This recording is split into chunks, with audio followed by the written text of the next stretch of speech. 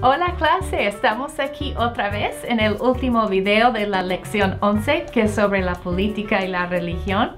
Hoy vamos a enfocarnos en la cultura de hoy, específicamente la cultura de Bolivia, Bolivia. Entonces aquí tengo unos dos lugares de Bolivia donde van muchos turistas cada año. Primero tenemos el Salar de Uyuni. Este salar, salar significa un desierto de sal. En vez de un desierto de arena, es completamente sal. Y muchos turistas van porque la sal parece nieve pero no es nieve, es sal, ¿sí?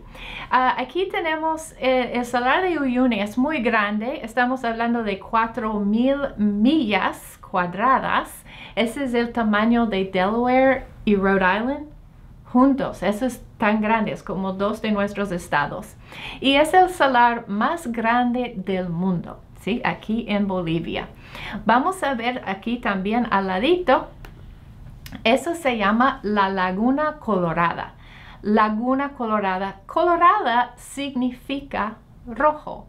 Entonces una laguna roja y uh, poco profundas. No, es, no hay mucha profundidad en, en, esta laguna, en esta agua, pero podemos ver que, ¿por qué tiene color rojo? Por las algas rojas y también hay muchos microorganismos, muchos minerales en este lugar. Otra cosa interesante es, como dice aquí, 14 mil pies de altura. Clase, cuando hablamos de Denver, Colorado, esos son 5000 pies. Eso es como tres veces, ¿no? Más alto, es un lugar más alto que, ah, que Denver. Entonces estamos hablando de una altura muy alta. También aquí hay diferentes especies de flamencos. Uh, una especie muy rara, creo donde no, no hay muchos aquí. Entonces la Laguna Colorada. Ah, vamos a continuar. En este video vamos a hablar sobre Bolivia y cómo Bolivia no tiene acceso al mar. Vamos a hablar cómo perdió su mar, clase. Cómo perdió su mar, su acceso al océano. Bueno, Bolivia. ¿Qué tamaño es Bolivia? Cuando podemos comparar Bolivia con los Estados Unidos, podemos ver que cubre lo que tenemos de Kansas, parte de Nebraska, parte de Missouri, Arkansas, un poco de Texas y Oklahoma. Entonces podemos ver que ah, no es tan grande como los Estados Unidos, pero aquí dice 424.200 millas cuadradas en tamaño. También aquí tengo un mapa. Bolivia está en América del Sur, en el centro, y como Paraguay no tiene salida al mar. Entonces Bolivia y Paraguay son los únicos dos países de Sudamérica que no tienen acceso al mar. Pero no fue así al principio. Al principio Bolivia sí tenía acceso y vamos a hablar por qué ahora no. Entonces primero ah, Bolivia. Si fueras boliviano o si fueras boliviana, ¿cómo sería diferente tu vida? Primero hablarías, probablemente hablarías español el 60.7 ah, de las personas hablan español como su lengua nativa, su lengua materna. O posiblemente hablarías quechua, que tenemos aquí uh, el 21%. O aymara, que es la lengua y también ah, el grupo indígena del presidente de Evo Morales, aymara, el 14%, 0.6% o guaraní. También hablan guaraní en Bolivia, y, pero hay cuatro lenguas oficiales de Bolivia. Listos. Entonces, si fueras boliviano, ¿cómo sería diferente tu vida? Bueno, primero hablarías una lengua diferente como lengua materna. También usarías el 95% menos electricidad Aquí en los Estados Unidos usamos mucha electricidad. Tenemos tabletas, teléfonos celulares, televisores, luces. Usamos mucha electricidad. En Bolivia, mucho menos. Si fueras boliviano, tendrías 73% más bebés. ¿sí? Entonces tienen más hijos en Bolivia. Si fueras boliviano, morirías 11 años antes. Aquí en los Estados Unidos las personas viven hasta 78 años, creo que es. Ah, entonces morirías eh, en los años 60. Ganarías menos dinero, mucho menos dinero. Aquí dice el 90% menos dinero en Bolivia. Pero hay una cosa positiva, pagarías el 98% menos en asistencia médica. Entonces ir al doctor, ir al hospital, costaría mucho menos en Bolivia. Sí. Bueno, ahora vamos a hablar de la geografía de Bolivia. Ah, la, geografía de Bolivia es muy variada. Ah, hay tres regiones diferentes. Ah, vamos a hablar cuáles son las tres regiones geográficas que tiene Bolivia. Bueno, tenemos los llanos, los valles, y tenemos el altiplano. Entonces, llanos. Podemos ver que los llanos estamos hablando del, 58% del país. Entonces, la mayoría del país estamos hablando de los llanos. Este es donde hay ríos, lagos, selvas, ah, la biodiversidad. Hay más biodiversidad en este lado, en el norte ah, de los llanos. ¿sí? Ah, luego tenemos los valles que están la mitad eh, eh, en la forma entre lo que tenemos entre los llanos y el altiplano. Y finalmente tenemos el altiplano. Altiplano que es, bueno, alti significa alto, ¿sí? Y plano significa esto. Entonces es alto y plano, el altiplano. Bueno, esas son las tres regiones. Pregunta número dos dice, ¿Con qué cinco países comparte su frontera? Entonces Bolivia comparte su frontera con Perú, Chile, Argentina, Paraguay y Brasil, Brasil en el norte. Ahora, número tres. ¿Cuál es el lago más grande de Bolivia? Entonces, si vemos en el mapa, vemos dos lagos.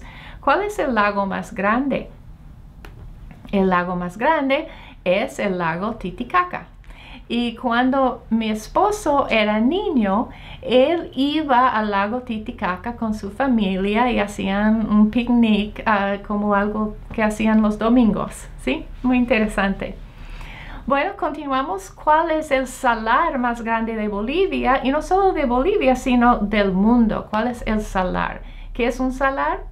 es un desierto de sal, si se acuerdan, ¿no? Muy bien, entonces podemos ver en el mapa que el salar más grande en el mapa es el salar de Uyuni, Uyuni, bien, en el sur. Y vamos a hablar en, oh, ya hablamos sobre Oruro, ¿no? En ah, vamos a hablar sobre, o ya hablamos sobre Oruro que está aquí, ¿sí? Oruro con su carnaval. Listos amigos. Entonces vamos a hablar de Bolivia y cómo perdió su mar. Entonces al principio, cuando, cuando Bolivia se hizo un país ah, independiente, tenía acceso al mar, tenía acceso al Océano Pacífico. Ah, entonces, ¿cómo perdió su mar? Bueno, bueno, primero había poca claridad en la frontera norte del país antes de Simón Bolívar Ah, y un gran interés en la zona. Entonces ya las personas de Chile, los chilenos, ya ocupaban esta área y ya usaban esta área antes de Simón Bolívar. Entonces al principio había poca claridad en la zona donde qué, qué, parte era Chile, qué parte era Bolivia, o, entonces poca claridad. Luego, Ah, el Tratado de 1874 entre Chile y Bolivia. Entonces, un tratado es un acuerdo. Entonces, Chile y Bolivia tenían un acuerdo. Y Bolivia promete no subir los impuestos a las empresas chilenas norte de paralelo 24 latitud sur. Aquí tengo un mapa y aquí está 24, ¿sí? Entonces decían, aquí en el norte, norte, ¿sí? Norte del paralelo 24 sur, que no iban a subir los impuestos. Pero adivinen qué, subieron los impuestos, ¿sí? Y Chile no estaba muy contento con eso, ¿sí? Entonces, bajo el liderazgo de Hilarión Daza, tengo una foto de, él aquí, que era el presidente de Bolivia ah, desde 1876 hasta 1879. Ah, entonces, aquí tenemos Hilarión Daza, que decide cobrar un nuevo impuesto a la empresa chilena Compañía de Salitres y Ferrocarril de Antofagasta bajo su liderazgo subieron los impuestos. Eso fue fatal. ¿Y, ¿qué, hicieron los chilenos? No pagaron. Entonces los chilenos no lo pagan. Entonces Bolivia rescindió la licencia de la compañía chilena, embargó sus bienes y los puso a remate. Sí. Entonces eso fue lo que hicieron los bolivianos, eso fue el colmo, eso fue, no, eso no se puede hacer. Entonces decidieron ir a la guerra. Entonces hubo una guerra entre, ah, entre Chile y Bolivia y Perú. ¿Y por qué Perú? ¿Por qué Perú está en esta guerra? Es porque Bolivia y Perú tenían una alianza, diciendo si uno va a la guerra, el otro también, sí. Y lo que sabemos es que la Armada de Chile era mucho más moderna, entonces ganó Chile. Y con la ganancia perdieron territorio. Entonces vamos a ver este video. Otra manera de explicarles. Ahora lo haremos a través de este mapa en tres tiempos. Allí observamos la evolución del territorio boliviano. El primero, por ejemplo, muestra el territorio antes de la guerra del Pacífico. Aquí está. ¿Qué vemos en el segundo? Febrero de 1879, Chile invadió suelo boliviano, se desató esa contienda bélica que terminó cercenando 400 kilómetros de playa, además 120 mil kilómetros de territorio, su territorio actual. Y en el tercer mapa observamos la parte que demanda Bolivia a Chile, esa parte muy bien, entonces es lo que vamos a ver aquí, que ese es su mapa original, los límites que marcó Simón Bolívar, eh, y después ese es de Bolivia de hoy en día, actual, hoy en día, y eso es lo que quiere Bolivia. Bolivia quiere recuperar sus tierras para tener un acceso directo al océano. Muy bien, entonces vamos a continuar clase con la, siguiente diapositiva.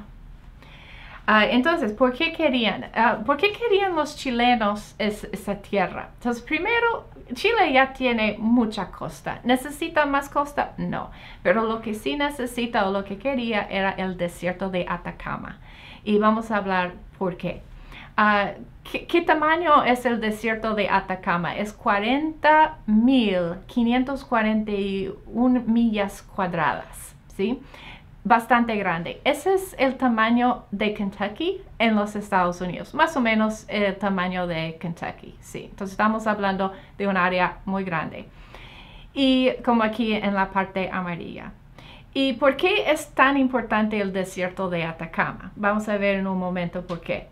Pero una cosa muy interesante es en la revista norteamericana de Science, dicen que el desierto de Atacama es muy parecido a un planeta. ¿Qué planeta?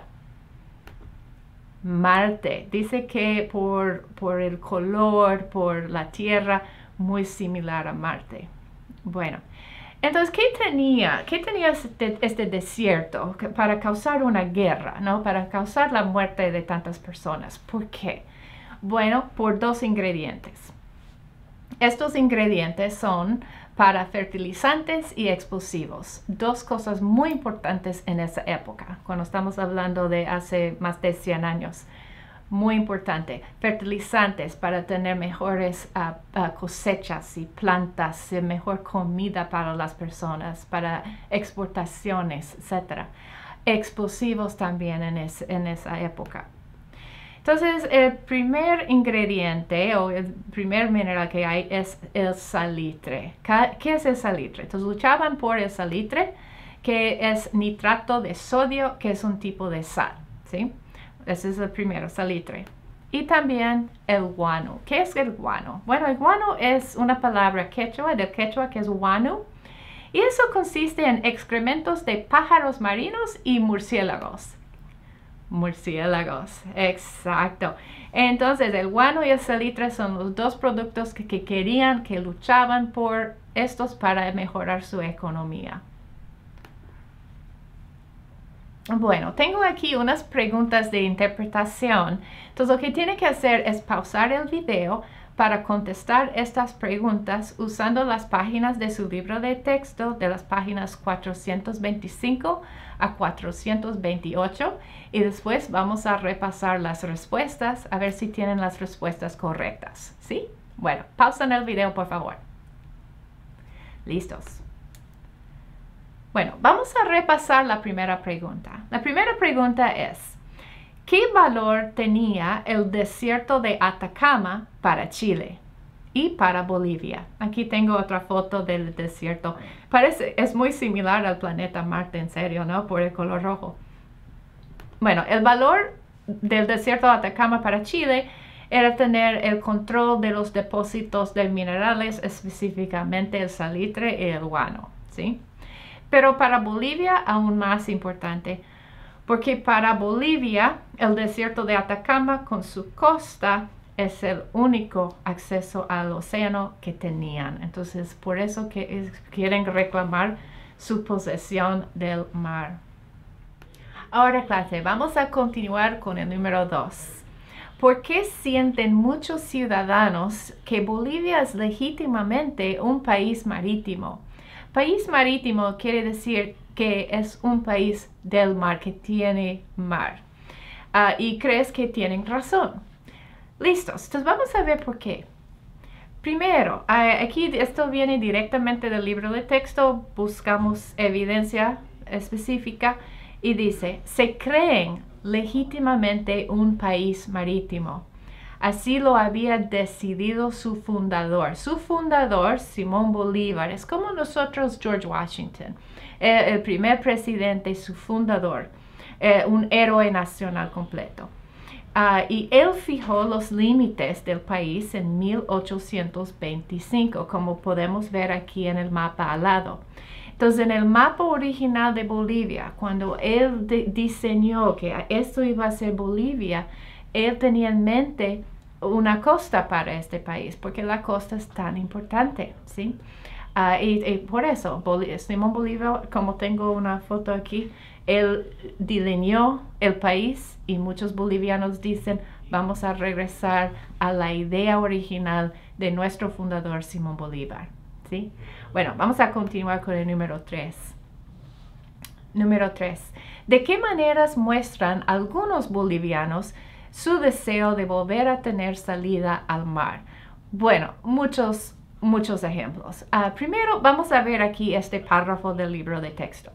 Dice, todas las semanas los estudiantes de su escuela, hablando de uh, Vargas Llosa, ah, cantaban un himno reclamando el mar.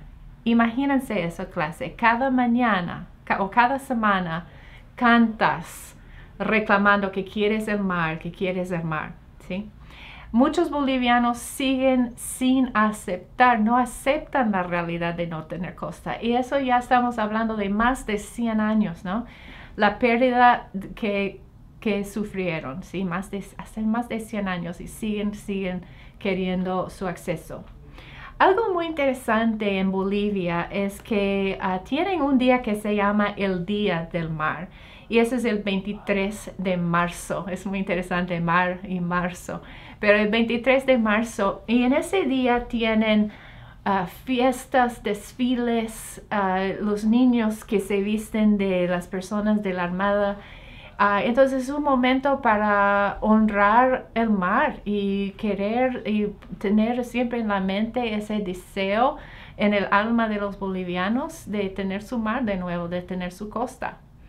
Otra cosa interesante de Bolivia es Bolivia no tiene mar, pero sí tiene una armada, ¿sí?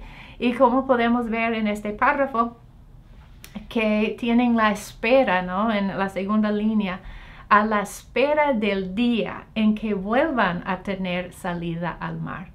Entonces no tienen salida al mar, pero están como preparándose para esa realidad que tienen su armada. Y su armada tiene, como dice aquí, 200 embarcaciones y un buque de guerra. Uh, nosotros también aquí en Wilmington tenemos un buque de guerra, ¿sí? Uh, eso, entonces dice que ¿dónde se entrenan? Si no tienen costa, ¿dónde se entrenan? Uh, eso pasa en el agua dulce del inmenso lago Titicaca, que ya sabemos que es el lago más grande de Bolivia. Agua dulce eh, es lo opuesto de agua salada, ¿no? Ah, en inglés se dice fresh water, en español se dice sweet water. Sí, me gusta esa idea, agua dulce. Listos. Vamos a continuar con el número 4. ¿Crees que es importante tener salida directa al mar y por qué? Bueno, esa es una pregunta de interpretación. ¿Cuál es tu opinión? Bueno, en mi opinión, yo creo que sí es muy importante tener acceso al mar, una, una salida directa. Y tengo aquí unas fotos. Primero, yo creo que ah, con una salida directa al mar es más fácil, ah, hay más facilidad para el comercio marítimo. Cuando estamos hablando de importaciones y exportaciones, el comercio es más fácil con una salida directa. ¿sí? También cuando pensamos en eh, la recreación y el turismo, cuando pensamos en la economía, la costa puede traer mucho dinero, ¿no? Entonces hay más oportunidad para los locales, para la recreación y también para ofrecer una costa para los turistas que puede aumentar la economía. Y finalmente, creo que es importante tener salida directa al mar porque hay más opciones para la pesca comercial. Eso también puede aumentar la economía y también puede dar comida a los pobres para poder alimentar a su población. ¿sí? Bueno, y número 5. Ha traído el ferrocarril tranquilidad, ¿no? Tranquilidad a los bolivianos. Bueno, hay, un ferrocarril, hay un tren, hay un tren que va directamente a Arica. Arica es la ciudad en la costa ah, de Chile, entonces va directamente. Ah, también podemos ver aquí en la foto, esa es la estación de Arica, Chile, donde va el tren. Aquí tenemos la estación de La Paz, Bolivia. Entonces ahí, hay, este tren va, pasa por los Andes y llega a la costa. Ah, ¿Están tranquilos con eso? la verdad es, no, no están tranquilos para nada. Entonces eso que encontré en el libro de texto, porque siempre es importante encontrar la evidencia, dice, sea cual sea el resultado de las negociaciones, algo está claro. Los bolivianos quieren su mar y su costa, no un viaje en tren. Entonces, ¿cómo se sienten? ¿Tranquilos? No, están, yo creo que están muy enojados. Están listos para tener su acceso. Bueno, clase, muchas gracias por la atención y nos vemos en el próximo video, ¿no? Hasta luego.